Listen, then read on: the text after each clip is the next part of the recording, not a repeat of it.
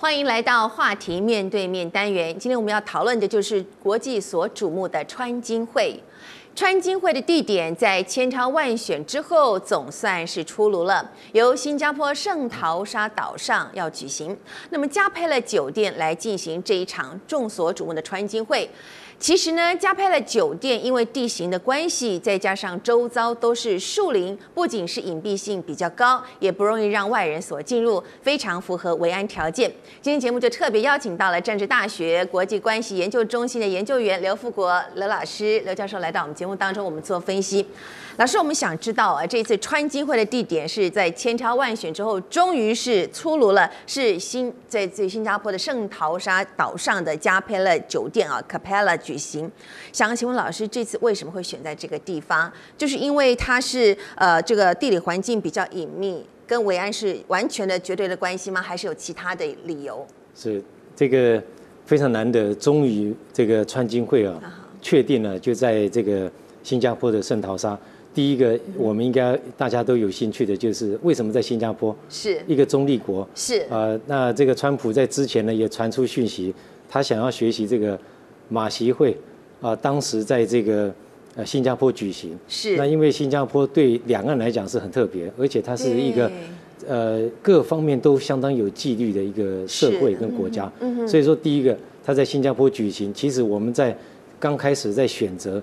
我们在猜想，新加坡都在这个第一线的这几个国家里面。哦，是。那第二个就是为什么选在最后，选在这个圣淘沙？因为之前呢，这个第一次，呃，双方讲好还没有这个，就是否，就是说，呃，第一次这个开准备的时候呢，还没有说改变主意说不开了，然后又回过来要开。当时呢，大家都认为说是这个香格里拉，对。那因为香格里拉。在这个二零零一年开始，一路这个每一年呢举行这个香格里拉安全会议。是。那我这几天才举行。是是是。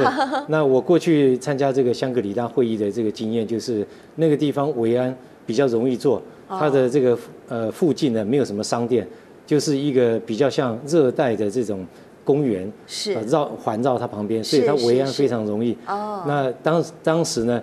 我们都以为说可能会在这个香格里拉，而且它就是马习会的这个地点嘛。是是是。那当然，这个很多媒体最后的这个结论就是说，当然是这个维安的问题。是。因为这个圣淘沙是一个新加坡独立的一个岛，半岛伸延伸出去，进出好像也困难，要需要特定的这个就是所谓的 pass 或者什么居民证啦，或者是什么。会员卡之类的，我听说。那这个，因为它山，它是像一个半岛型的这种地理位置，所以它的海空，据说新加坡这一次调动海空军，都会在这个海外啊，这个岛的这个外围啊，去但这个进行这个维安的工作。是是。所以说，从这个维安的工作来讲，维安不只是路上、空中。是是。那这个来讲的话，我觉得这个地点是比香格里拉。饭店还要还要理想，更更理想，更安全，安全性更高。是是。那么我们都知道说，这次的川金会最主要的议题聚焦在北韩这个契合的这个议题上。美国当然方面是要求北韩要用这个可验证，而且。不可逆啊的方式来全面性的废核，但是美国呃有位前国家情报总监，他提出说，如果说那么北韩方面也要求全面无核化，你也要扩及到美国所部署的这个可搭载核弹的这个轰炸机啊，老师刚刚讲过就是 B 五十二啊。美国如果真的答应了撤出，那么像是日本跟南韩这些核武保护伞也就因此就消失了。那么想请老师分析，对于这种所谓全面性或者是所谓阶段性的废核，双方会不会都会坚持自己的立场？会不会不会互不相让？那如果说这个核武的保护伞消失的话，日本跟南韩有什么样的影响？是这个呃，这一次这个川金会在第一轮双方同意要开，还没有改变这个之前呢？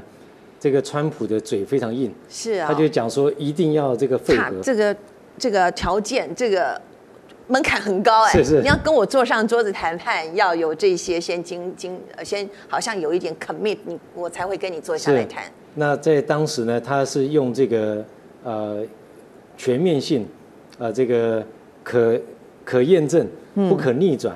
这样子的这个方式来要求北韩好这个就是废核。是但是呢，这个从头到尾，我们这个学习东北亚安全，大概都非常了解。是这个核武器呢是金正恩的这个保保命符，保命符，符，对，所以在任何情况之下，我们都非常怀疑说他愿意把它拿出来。能答应呢？是是，那所以说这个这一段时间就是在第一波双方已经说要开会，后来呢又说不开了，结果再回来要开。那现在川普的这个新的国安顾问是。那个 John Bol- Bolton，、他现在把这个字啊，原来是讲说全面性、可验证，那这个把它改成了一个永久性，永久性，他就是说是 hawkish，对对 hawkish 它更强硬对更强硬。最鹰派中的鹰派，最绝对的哈。是，那所以说在目前这个情况，我这个密切观察川普从这个决定要开川金会。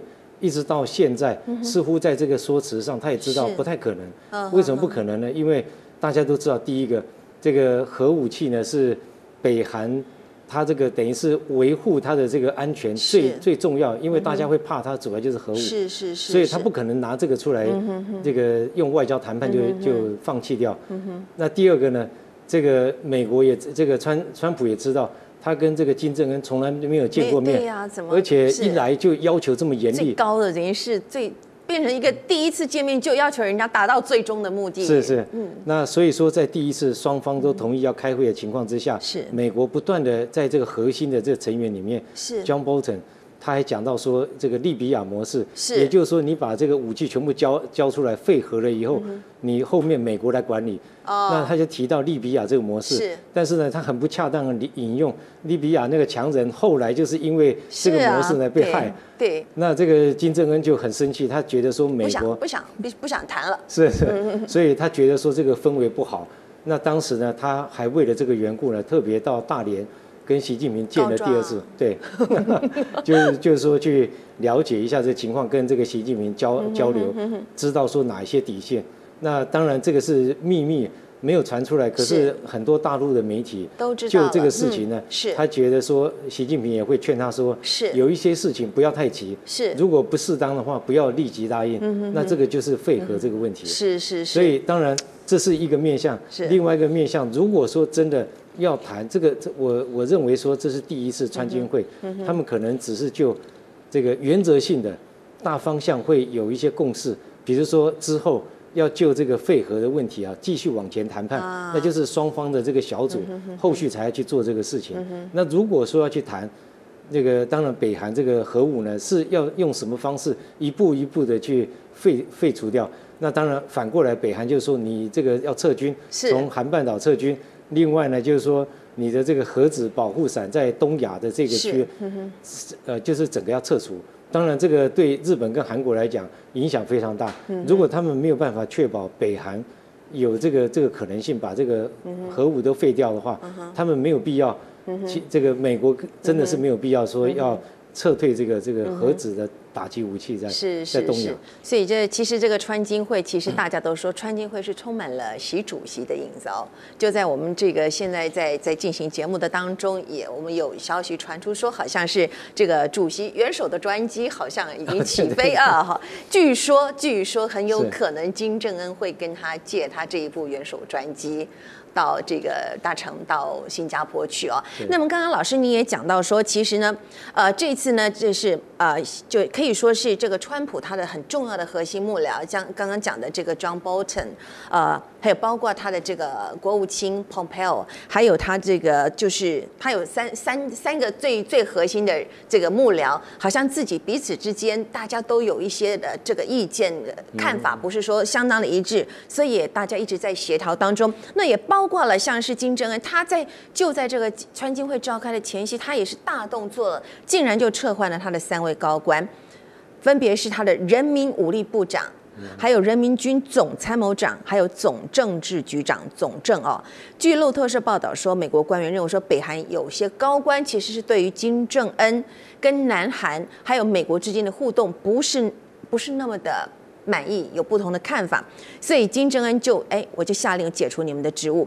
那么想请教老师，有可能吗？这金正恩他现在是不是处于内忧外患的情况？有可能吗？一方面他也要担心出国的时候。北韩的军队是不是能够安守住家园，或者是说北韩的军队是不是有二心，会不会叛变？那么又要担心在新加坡，他其实也是有人身安全的问题。对，当然这个从这些蛛丝马迹啊，我们可以揣测，这个金正恩要出国之前，因为这一次对他来讲是真的是就任领袖以后第一次是在国际的媒体之下飞得这么远，是。那他当然会担心有兵变的这个情况。是是是，呃，那这一次也非常特别，就是说，川普在几个月前才刚刚撤换这个国务卿，是。那这个呃，这个 Pompeo 刚刚上来，那包括这个国家安全顾问也是新的，是。那这个金正恩也在也在这个做他的内阁的这些调整，调整。最主要的就是因为这个在决策的过程当中是，一定会有很多人抱持不同的意见，那他撤换的这三位非常重要的这个军头呢，其实最主要就是他们对于这个金正恩跟南韩跟美国之间的这种互动，已经超越他们原来的那种想象，所以他们当然在内部讨论一直都持比较不同的看法，或者说甚至反对。那这个金正恩大概也也察觉到说，如果不把他们撤换掉，把他这个放心的这些人呢，是。来担任这个工作，他出国他确实要担心这个军队会不会叛变。是是是，所以说，这个我我想就这个北韩的这种体制来讲，嗯我想我们是可以理解，他所要做的这个努力呢，其实就是要稳定他在这个第一线要打仗的时候，他家里面要平平安安，嗯可以让他这个毫无牵挂去面对这嗯个这个川普。所以说，呃，这一段时间呢，就是今年的上半年，可以看到金正恩的这个外交，又跟这个文在寅，又跟这个习近平，几乎都是翻转了过去几年。那过去他在进行这个核试爆也好，或者说这这个飞弹的试射，这个北京发了好多强烈讯息，他是相应不理。嗯，结果这个时候他有一些反转。那当然，在这个问题上，他撤换这些重要人士，是。最主要当然是里面要要意见要一致，让他在面对川普的时候不会有有这个二心出现。那当然从美国角度来看，美国这个刚才您一开始就提到，美国现在在白宫里面也有两派的这个这个对对立啊。是像这个 Pompeo 就是比较务实，务实而且他比较有弹性。嗯那这个呃 John Bolton 是非常强硬。强硬的，嗯，目前这个川金会基本上都已经超越了这个 John Bolton 在那里面，因为 John Bolton 的那个想法就是说，这个就是就像以前那个小布希所讲的，邪恶轴心是绝对是不能用现在这种方式去面对它。但但是呢，现在毕竟是总统在当家，是因为这两天呢，就是昨天这个日本的首相安倍才刚刚去华府见到，friend，他又对。说我要跟我的朋好朋友。是是，但是啊，这这个仔细看这个川普在这个记者会上是。非常特别，就是说这件事情在他来讲可以创造内政的这个最高的这个效益，是是是。所以他好几次在他的演讲里面，在记者会最后都讲到说，这是我前面几任总统做该做都没有做，他说嗯我现在把它完成了，是是。所以这个不简单。老师，您刚刚讲了安倍，已经几乎每个月都要去见川普，可见他心里面的焦虑与不安，对不对？那其实我们知道说，这个美国一方面是跟北韩要和谈，但是他同时还是要继续在施压当中。他不仅是跟着联合国继续要制裁北韩，他军事方面也是有动作，像是美国就派出了 F 二二战机驻扎在冲绳的空军基地，应该是加手纳空军基地。那么似乎也是有一种要武力恫吓、武力威吓的这种味道存在。那么想请教老师，川普他到底心里面打的是什么样的算盘？是不是他要用经济跟军事让北韩不要轻举妄动？就是硬要把金正恩逼上谈判桌。嗯是这个，其实啊，我仔细去解读这个呃北韩跟美国在这件事情的做法，确实东方跟西方不太一样。比如说从东方的角度，这个北韩的理解就是，既然我们要上谈判桌协商谈判了，那你就应该把那些这个做事逼人，要要这个，比如说军事演习啦，还有这个派的这些重要的这些武器呢，来威吓这个北韩。照理说，从东方角度来讲的话，你就应该暂时停止。可是这个第一次，我们现在回想啊，听众朋友大家这个回想，第一次刚刚决定说川金会的时候，结果决定没多久，美国跟那个南韩就进行大规模军事演习，就在就在这个朝鲜半岛附近。雷霆，对，雷霆军演。那这个从平壤的角度来看，他当然觉得很不是滋味，就太说对一方面就要要谈判了你居然用这个威吓，就好像觉得说就逼上谈判桌的感觉。那再加上我前面讲到说利比亚模式，是美国的这个国安顾问就讲到这个例子，让这个金正恩很不是滋味。是，所以他到最后就说：“那你如果这样的话，我们就不开了。”可是从美国人角度，如果我们对美国有些了解，他基本上就是要谈判之前，经济的继续施压，联合国这个制裁，他也不他也不撤除。就是在这个前天呢，我看到这个 John Bolton 都还在重复，就是说我们尽管要跟金正恩要谈判了。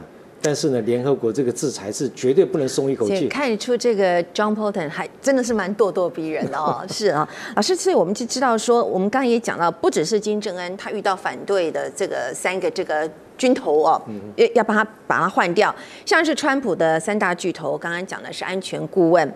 Bolton John Bolton 他也看衰川金会哦，然后呢，那当然新任的这个国务卿，以前的中情局长、那 CIA 中情局长 Pompeo，还有国防部长马提斯，他们本来是比较比较低调，好像是比较稍微稍微鸽派一点，但是但是最近就是您刚刚讲的这个香格里拉会议当中，马提斯他又。哎，表现出了这个强硬的态度，他也提到了这个美军驻南韩的议题。会不会搬上谈判桌啊？我们也知道说，可能也因为川普可能是财政的考量，呃，他有打算将这在南韩就是有两万八千八千八千多名的这个驻扎南韩的这个美军撤军。那么想请教老师，那么川普他的幕僚想法的差异是不是真的很大？那对于川普会有影响吗？还是川普他有他自己的主张？基本上，这个川普呢是一个很不一样的总统。哦，他强调的是我帮你打仗，你要付钱。啊我想到他这个是 这个企业家老板，是这个那个最近呢非常有趣，讲到说这个呃这个如果说两韩之间这个要统一的，然后那些需要的花费，他就讲说，那这个就是第一个就是韩国自己要付费，第二个日本，然后第三个就是中国大陆，是。然后他就说美国是帮助他们，不需要付费，所以这个完全是反映了企业企业的一个一种思维。不过呢，这个放在现实的国际政治里面，当然很多国家都在就有不同的意见，都会对他有一些批评。是是，但是 现在回到就是说，这个这个驻军，对。嗯，南韩驻军，这个南韩驻军呢，呃，我个人的判断就是说，这一次的川金会基本上还不会谈到这个那么细节的问题。嗯嗯当然，如果说就像我前面讲的，这一次如果川金会相当融洽，双方有共识，也希望说就这些议题啊，呃，分配给这个不同的官员，也许部长带这个工作小组，在未来几个月慢慢去谈，那些议题就会慢慢的浮浮现这个台面去讨论。但是目前这个阶段，是不是有很多媒体说这个川普去马上要谈到撤军？我觉得还不太可能，基本上是不会碰触到那个议题。是是是而且美国也非常清楚，就算是这个两韩统一了，他现在都还没有说要撤离美军是这个这个离开这个朝鲜半岛。是，所以目前这样子的，就是说我们大家去比较务实的了解，就是呃，这个对美国在朝鲜半岛的驻军，它是有一定的这个美国在东北亚存在的这个象征。是那它当然对中国大陆会有某种程度的这个压力在。嗯。那这个中国大陆跟北韩都希望，假如说情况改变的话，那美军就赶快请请回家了，不要在这里。但是这个这个可能性目前是不存在的。不存在的对。这个川金会除了这个废核议题之外，像刚刚老师讲的韩战的终战宣言也是瞩目的焦点嘛哦。但是为什么终战宣言呢？为什么是终战终止的？呃，就是终于的那个终呃，最终的终。终战宣言呢？原来南北韩现在还是处在战争的状态。那么想请老师给我们解说一下这个韩战的背景。好，北韩呢，在这个中国大陆的支持之下呢，嗯跟美国跟南韩他们有一个停战协定。是那这个停战协定只是说我们现在不打了，就把它停下来。对。但是这个中战为什么？这个中战就表示说我们停战 ceasefire 停止，就是现在就是暂时不打。对，就是把那个军事行动停下来。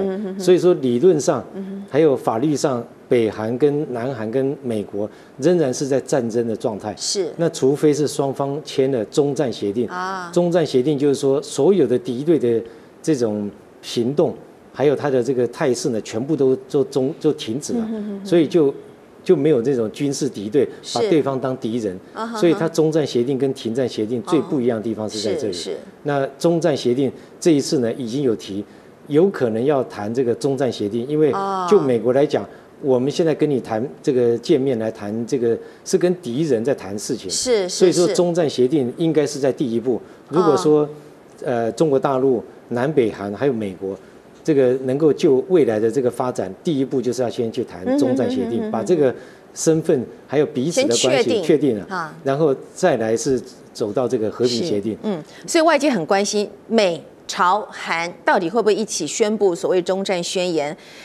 但其实中战宣言好像也没有什么这个，如果没有说大陆一起签署的话，它根本也是不具有法律的效力嘛。哦，那么老师，请问一下，大陆方面到底怎么看待这件事情？那么大陆对川金会谈判到底态度是什么？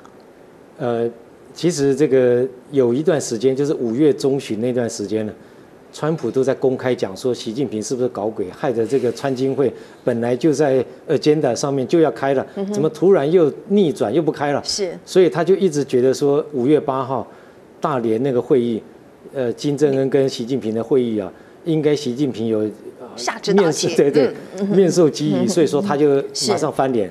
所以他就怪这个习近平，但实际上呢，并不是这样的，因为就我们后来听到好多讯息，这个习近平对于这个川金会基本上是乐观其成，乐观其成，因为他觉得说，只要北韩在他的掌控的这个范围之下，跟美国去谈稳定这个东北亚关系，对大陆来讲也是这个符合国家利益。是。那么川金会下个星期就要登场了。嗯白宫发言人说，第一场会议将会在六月十二号周二早上九点举行。但是这位发言人也说呢，第一次，他说第一次让大家猜测，哎，我们就媒体想，哎，双方是不是还会有进行多次的会谈？那么这次的会谈到底会出现什么样的结果？我们怎么样观察？怎么样预测？这是一个预测性的这个问题。对于这个两位非常难以预测的领袖啊，要去预测他们的这个结果呢，其实是不太容易。是当然，现在就是说他们好不容易这个双方约定都安排好，也跟新加坡，因是为今天此时此刻，新加坡的外交部长维文呢啊，现在在平壤，是的。啊在跟这个呃北韩的外交部长正在协商那些行政礼仪的相关细是。细节。那这个至于说第一次会议在下礼拜二九点开始，我们估计啊，可能他的这个说法就是说九点开始有一个正式的双方的会谈，是也许第一天完了以后，是不是下午，或者是说隔天呢，还要再进行第二场会？那当然，现在猜我我个人看这个川普这种做法，他可能是保留说有第二次的机会，哦但是要看第一次金正恩表表现如何何。如果双方相谈甚欢嗯，有可能第二场，然后再继继续谈这个细节的问题是。是是不过呢，我想我非常同意，就是说川金会毕竟是目前在这个整个亚洲众所瞩目，对于大家啊周边国家的这个安全，它影响非常大。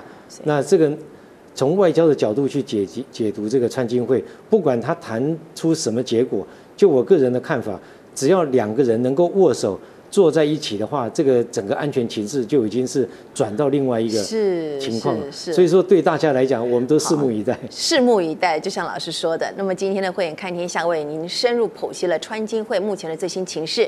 那么下周川金会就要正式登场了，也请您持续锁定每周六晚上九点钟慧眼看天下。我是王宝慧，下周同一时间我们再会了。老师，我昨天看到一则新闻，就说现在很多这个领导。